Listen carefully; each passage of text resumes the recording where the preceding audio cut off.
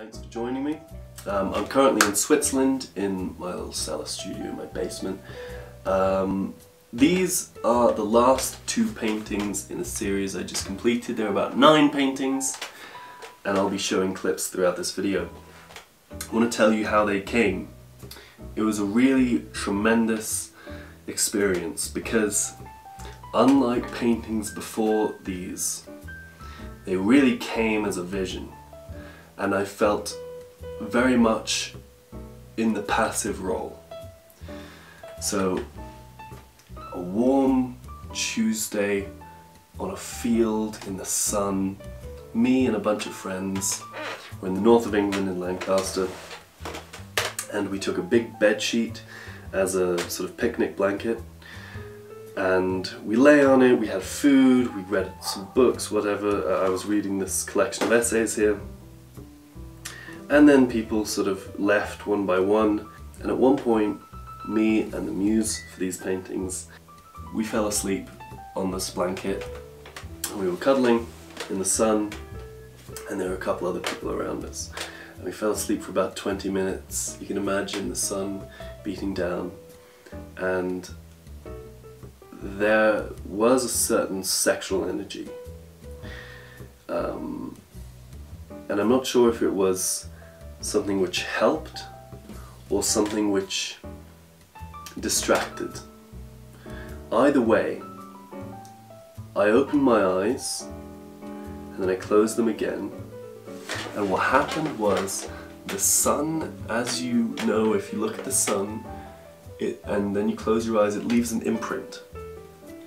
And so it almost prints in your eye and then you can see, if you close your eyes, the inside of your eye isn't black, it's sort of maybe a maybe a, a, a sort of a maroon red depending on how much light gets through your skin, maybe even bluish. And if you just looked at the light, you can see on the inside of your eyelid, projected on the inside of your eyelid from your eye, the complementary colour of whatever that may be. So, I saw the sun with the tail because I had moved my eyes obviously. And I, that's what I saw. I saw it imprinted in my eyes. Now along with this seeing it was a literal vision not a vision as in something which doesn't exist seeing something which doesn't exist for, for most people but a vision in the very literal sense of I saw it. Along with that came an impulse or a, a not an impulsion but a compulsion which really struck me. I got up in a start and went to run and find the nearest piece of uh, paper I had, which was this uh, collection of essays on the art market. And I opened it up, grabbed a pen, and I started sketching with my pen exactly what I saw. And with the I, I, had to note down the colours of course because I only had one pen. So here you can see in the paintings, this, this was one of the, the penultimate one, the second last one. You can see it's the complementary colour. This is the sun. Now these three gestures here, they're also the sun, but those I had probably seen a minute uh, before I had seen these, so these are obviously a lot clearer. The colours are usually complementary. the weird thing was that I, and the thing I'm still trying to do is try to get the colours not to be, to, to, be the same, on the same plane. So, so I've, I've done it more successfully in this painting than I have in this one. These pop too, these, ah, they don't pop too much, but there's too much light blue here compared to what I saw. But it's something which you can see but you can't necessarily depict in colours with the pigments. Or I can't yet so I'm really working on that. But anyway these paintings they came in a series. They came with their dimensions. I knew exactly the sizes. And I sketched here and I'll show you in a second. Dark blue, light blue with the vision and I try to remember as much as possible.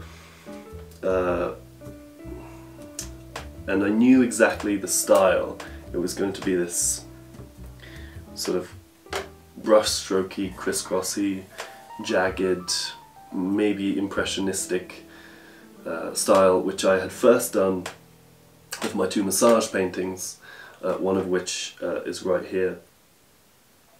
So, the most fantastic thing was that they came with their shapes, with their dimensions, and their colours. All I had to do was I noted them down and I tried to remember them as much as possible. And then I have a page here in which I take the 5 centimeters in the book and I magnify it to whatever size I was working with. This is a 2 meters 40, this is about 211 and so I magnified it and then with a ratio magnified the other length just to get the correct sizes. So I have some, some maths I'm working out over here. And then I started painting and some of them were more successful than, than others. Uh, but I thought it was fantastic because they just came. So this whole project led me to think about a couple of things. Firstly, I don't think that I think that ideas can easily get in the way of art. So you can have this clever thought or a thought you think is clever, at least I can, and if I follow that, I fuck up the piece, I ruin it.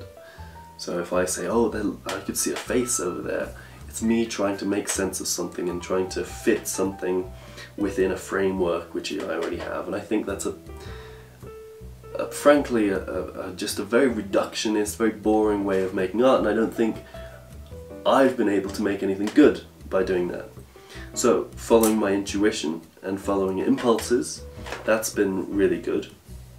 And that's how this came, it was an impulse.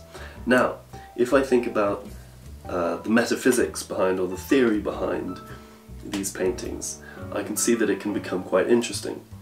First thing, uh, which a collector mentioned to me while I was telling her about this, uh, she mentioned Goethe's Farbenlehre, so his, his, his Goethe's theory, theories on colour, uh, and how they retorted against Newtonian colour theory. Uh, by saying that not only was there uh, light was light uh, the, the thing that could fractalize colors but also within shadow these colors could fractalize. I don't even know if fractalize is a word. Either way um, I'm sure there's something there which I could pick up and, and, and theorize about. I'm afraid my reading hasn't been that in depth but the second thing it made me think about was really what's going on here.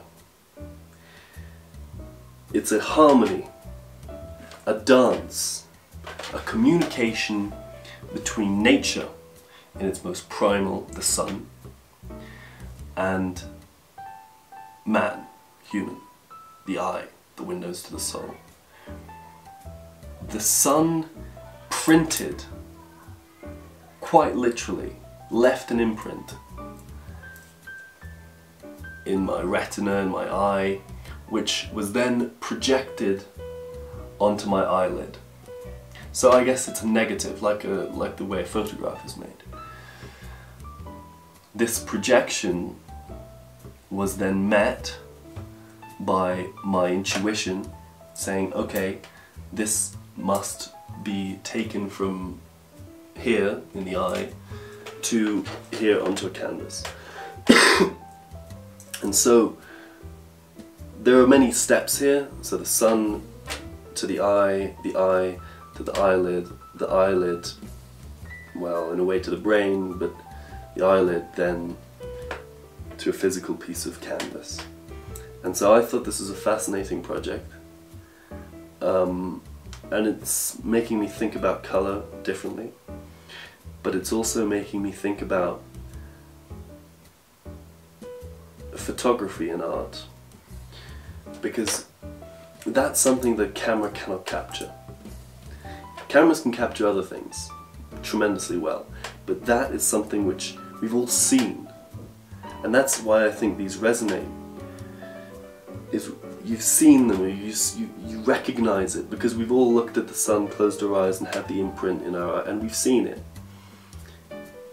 but it's not something usually depicted by a camera. So there's this weird niche, this weird sort of an unexplored area, and it makes me real, really. it makes me really have faith in painting. So one of the most fascinating things for me is when people explain my paintings to me. They'll say, well, I see a very sexual painting, I see sperm, I see romance, I see whatever it is, or I see, I see a hand grabbing someone, I see two figures dancing. Uh, one of the interpretations was two souls walking through into infinity. And so I find all of this stuff fascinating. And so I'm not here to reduce anything. That is to say, I'm not here to say what any of these paintings mean. I'm merely explaining the process because I think it's pretty interesting and sharing some thoughts on nature printing and then being printed. So I guess that's some, some thoughts behind it. There are some metaphysical suggestions there and just the story of how it came to be.